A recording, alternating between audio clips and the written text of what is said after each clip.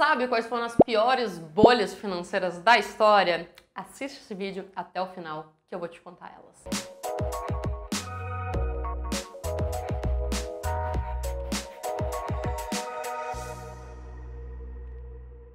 Oi, eu sou a Gabi, analista financeira, e hoje vamos falar sobre as piores bolhas financeiras que já aconteceram na nossa história. Mas antes, não se esqueça de se inscrever aqui no meu canal, dar o seu likezinho e ativar o sininho para você receber todas as notificações dos nossos novos vídeos. Praticamente todos os investidores e pessoas em geral que se interessam pelo mercado financeiro já ouviram falar do conceito bolha financeira. A bolha financeira ela é relativamente frequente na economia mundial. Mas então, o que é bolha financeira? Bolha financeira é o nome que a gente dá quando ativos passam a ser negociado extremamente acima do seu valor real, seguindo um movimento aí de alta bem abrupta assim no valor dos ativos. Depois ocorre uma queda ainda mais rápida. Então eles vão lá crescendo, crescendo, crescendo, daqui a pouco cai, que acaba por deixar um prejuízo para os que acabam entrando nessa bolha especulativa. É muito importante que você entenda que o investidor fundamentalista, o investidor que sabe o que está fazendo, mesmo que ele acabe entrando aí numa crise, alguma coisa, ele vai conseguir retomar o dinheiro dele. Quem acaba perdendo mais o dinheiro é realmente quem vai pela, pela especulação mesmo, vai entrando aqui, ó, porque está crescendo, acha que vai ganhar um dinheiro e acaba caindo, tá? Vamos voltar.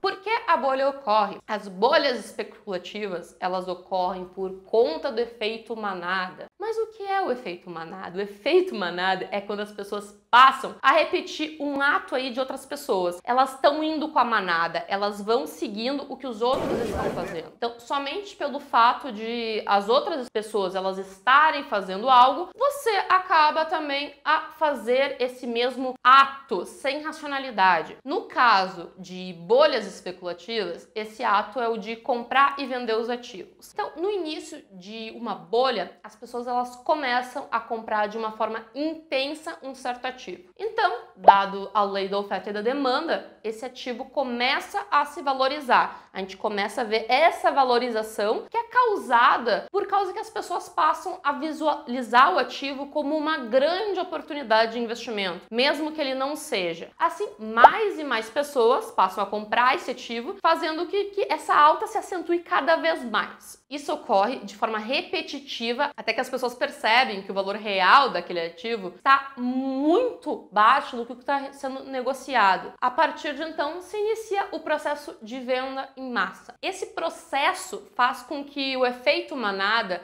ocorra mais uma vez de forma contrária. Então as pessoas elas passam a vender quantidades cada vez maiores por preços cada vez menores. Isso causa finalmente o estouro da bolha especulativa, que as pessoas elas têm muito mais medo de perder dinheiro do que esse desejo de ganhar. Então na parte da venda elas começam a vender desesperadamente. Vamos aqui para uma dica de quem sabe.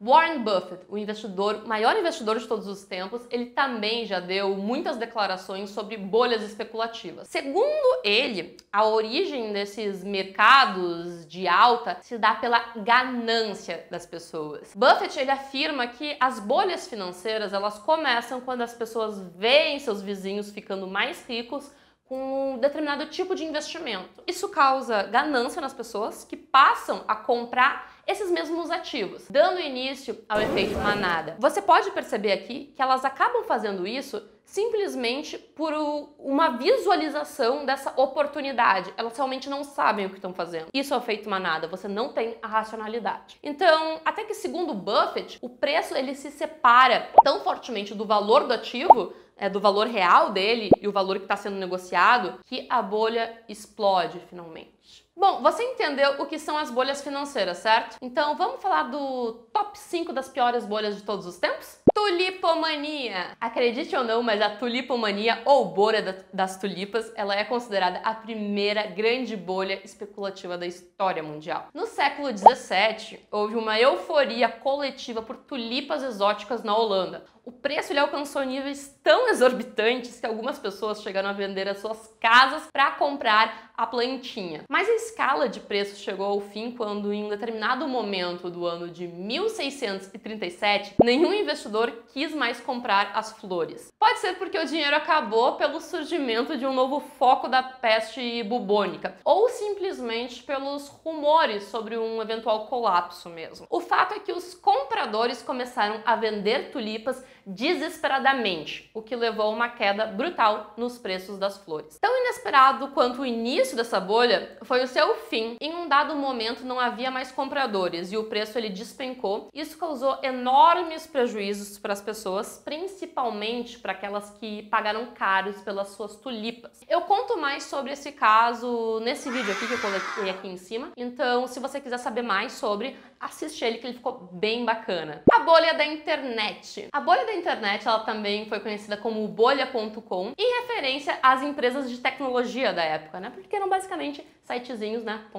Ela foi uma das maiores bolhas da história da bolsa de valores americana. Isso em meio à revolução da internet. Então, inúmeras empresas de tecnologia listaram as suas ações na bolsa dos Estados Unidos. Quando a situação veio à tona e o desenvolvimento tecnológico não era como hoje, poucas pessoas usavam a internet e redes sociais. Muitas empresas como MSN, Hotmail, Google, Yahoo, Amazon somaram lucros absurdos com o crescimento da bolha bolha. O mercado virtual ele não parava de inflar e novas empresas, ONGs, políticos e outros entraram nesse mundo tecnológico. Nessa época a internet ela era conhecida como um mercado amplamente promissor. O problema é que muitas dessas empresas não eram sequer lucrativas e negociavam a múltiplos de mercado extremamente altos.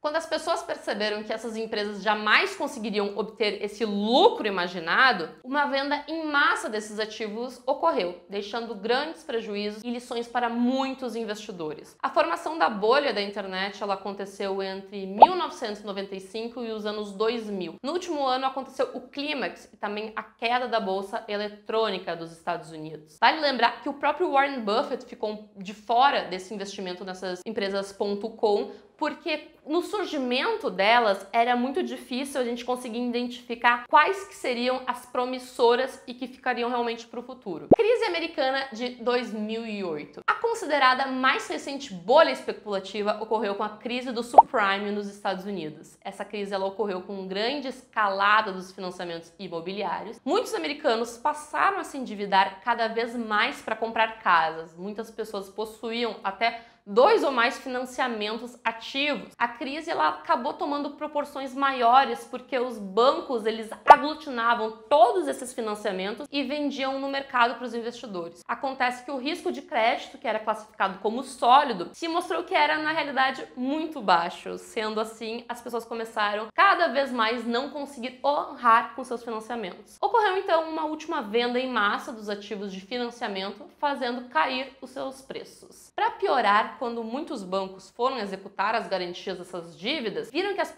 propriedades valiam na realidade muito menos do que se imaginava. Essa bolha financeira causou grande impacto na economia americana, chegando a influenciar negativamente o mundo inteiro. Eu fiz um vídeo inteiro sobre essa crise, eu vou deixar ele aqui em cima para vocês assistirem.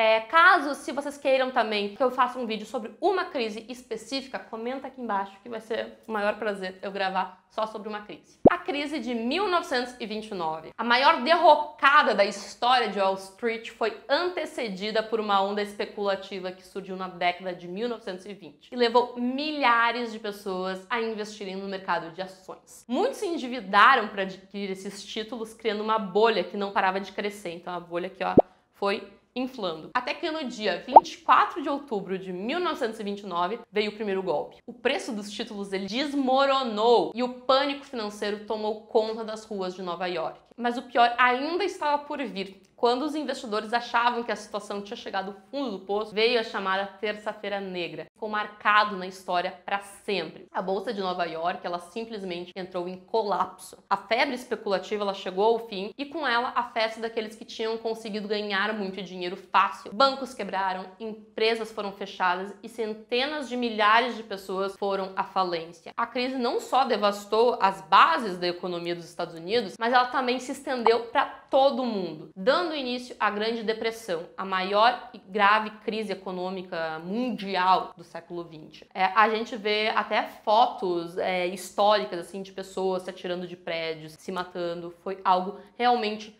muito terrível para a situação do mundo todo. Bolha dos mares do sul. Essa provavelmente você não sabia. Na Inglaterra, no começo do século XVIII, a Companhia dos Mares do Sul tinha o um monopólio do comércio com as colônias espanholas da América Latina. A empresa estabeleceu sua primeira rota comercial na região em 1717 e começou a propagar rumores sobre as maravilhas de suas expedições comerciais que não eram verdadeiros. O valor das ações da companhia disparou, passando de 128 libras, o que daria mais ou menos 568 reais para mil libras em apenas sete meses. Gente, um ponto. Vale lembrar que existe inflação, tá? Porque as pessoas podem achar que esse valor, nossa, mas é pouco, mas volta aí alguns séculos passados. Todos queriam títulos da empresa. O parlamento britânico ele chegou, inclusive, a conceder uma vultosa linha de crédito para a expansão comercial dos negócios da companhia. O crescimento rápido do valor das ações ele gerou um frenesi especulativo em todo o país, se estendeu inclusive à compra de títulos de outras empresas, cujos ganhos reais não eram demonstrados. A gente imagina, se a gente tem dificuldades de ver é, fidelidade e uma veracidade em dados hoje com internet, com tudo, imagina lá em 1700 e pouquinhos. Mas quando os recursos dos pequenos investidores começaram a se esgotar, a situação realmente ficou difícil difícil. E se complicou ainda mais quando eles começaram a comprar títulos da empresa com dinheiro emprestado da própria companhia dos mares do sul, tá? Então a companhia dava empréstimos para os pequenos investidores comprarem títulos da companhia. Na hora de pagar as dívidas, muitos não tinham dinheiro suficiente e tiveram que vender as ações da companhia. O que aconteceu depois é fácil de prever, né? Os preços despencaram, vários bancos britânicos quebraram e a economia